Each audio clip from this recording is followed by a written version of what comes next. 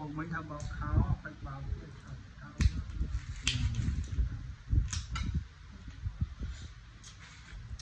មិនទៅបោកអាវ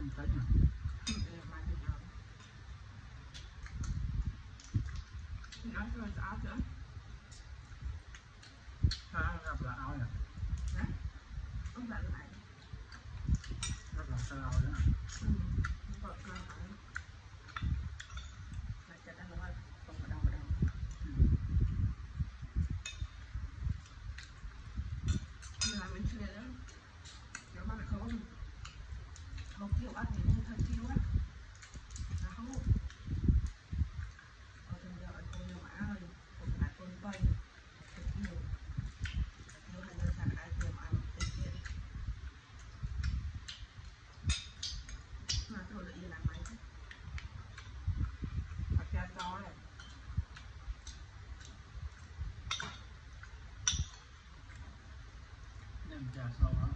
អីចាសងចាសងហើយយើងចាសងលើណាយ៉ាចាយើងចាសងចាំបបកាយចាំអូចាំដាក់ទៅហូតហ្នឹងអាពីថ្ងៃគេទីលុយអត់គាត់ត្រីស្នាក់40លានតាម10000ហើយហើយពេលផលវិញ